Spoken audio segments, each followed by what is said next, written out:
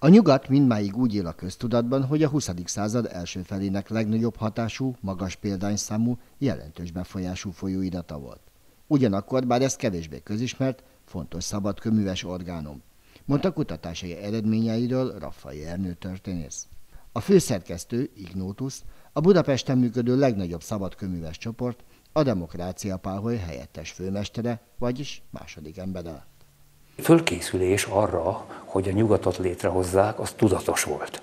Egy példát mondok, a Demokrácia Páholy iratanyaga, országos levéltár P szekciójában megtaláltam azt a vitát, amit a páholyon belül titokban csináltak, hogy most van a szabadkönyvességnek most már lesz napilapja, ez lesz majd a Világ című lap, van folyóirata, kettő, a, a, a progresszió, a dél és a kelet, tehát három, a kelet volt a hivatalos lap, és kellene egy szép irodalmi, de politizáló lapot csinálni.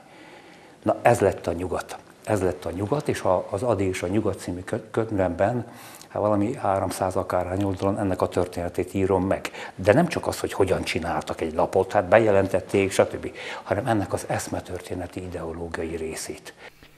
Adi 1908-tól csak a nyugatban publikált verseket. Ezzel a kizárólagossági megállapodással a szerkesztők magukhoz láncolták. Akkor Magyarország liberális mintaállam volt, tehát semmi szükség nem volt arra, hogy titokban működjenek, azonban a szabadkönyvesség akkori vezetői fölkérték Jászi Oszkárt, tehát az egyik adi könyvemben, vagyis a Jászi Oszkárról szóló politizáló szabadkönyvesség című könyvemben leírom, fölkérték a nagypáholy egyik vezető személyisége, hogy csináljon ő, szervezzen ő egy szabadkönyves páholyt, amelyben liberális és szociáldemokrata politikusokat, értelmiségeket, költőket, írókat, politológusokat, szociológusokat, Jászi Oszkár, Pikler, Gyula, Adi, Endre, Bölömi György, 200 nevet tudnék sorolni, Körülbelül százon tagjai is lettek a Martinovics Páholynak, úgyhogy Jásziék 906-ban beléptek a Demokrácia nevű budapesti páholyba, és amikor heten közülük nyolcan pontosabban elérték a mestertestvér, tehát a harmadik fokozatú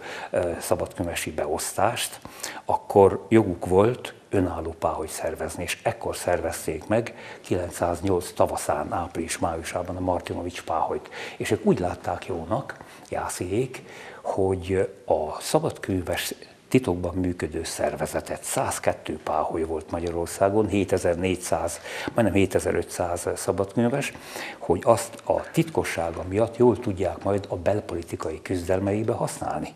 És majd a tizedik szabadkönyves kötetembe írom meg, annak az a cím, hogy Szabadkönyvesek Magyarország élén, hogy 908-tól készültek arra Károly Mihály gróffal, akit én nem Vörös grófnak nevezek, mert nem volt kommunista, hanem inkább csak ilyen rózsaszín gróf volt, eh, tudatosan készültek arra, hogy majd átveszik az állami főhatalmat, és ez 18. október 31-én megtörtént. Raffai kifejtette, szerelmi költészete a világirodalom legnagyobb alkotásai között említhető, ám politikai költészete ostoba, káros és művészileg is felejthető színvonalú több mint száz éve, 120 éve zajlik a nagy vita, hogy most Adi nagy költő volt, vagy nem volt nagy költő. A helyzet az, hogy amire ön utal, az úgynevezett adikultusz. Itt most a szexárdi áldásom erről sokat fogok beszélni, mert Adi életében kialakították a barátai, akik hát nem kimondottan keresztény, magyar barát, ateista emberek voltak, Ignótus, Fenyő Miksa, 60 Lajos Báró, azt az adikultuszt, ami mind a mai napig él.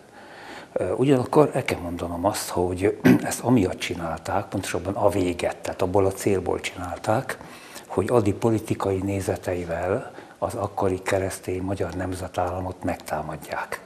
Az adikultusz az nem adi verseire vonatkozik elsősorban, hanem adi radikális liberális és radikális szocialista nézeteire vonatkozik. Én magam Adit a feleséghez írt szerelmes versei, Csinszka versek, és az Isten kereső versek miatt mondom azt, hogy az európai költészet csúcsa. A nyugat következetesen durván támadta, és Adival is durván támadtatta elsősorban Gróf Tisza István miniszterelnököt, de általában a keresztény magyar politikai elit és a katolikus egyház is alapcél keresztjében volt. A Lidával való viharos szakítást követően Adi önpusztítása a korábbiakhoz képest elhatalmasodott, napi 4-5 liter bor, 4-5 doboz cigaretta és a morfium uralta az életét, aminek ekkoriban lett a rabja.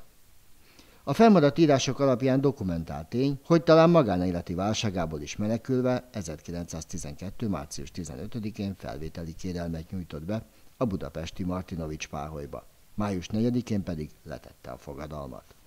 Az akkori katolikusok, evangélikusok, unitárius, tehát keresztények eh, általában kevesen léptek be a szabadkönyves páholyokba, reformátusok pedig sokan a római katolikus egyház elleni eh, küzdelem miatt.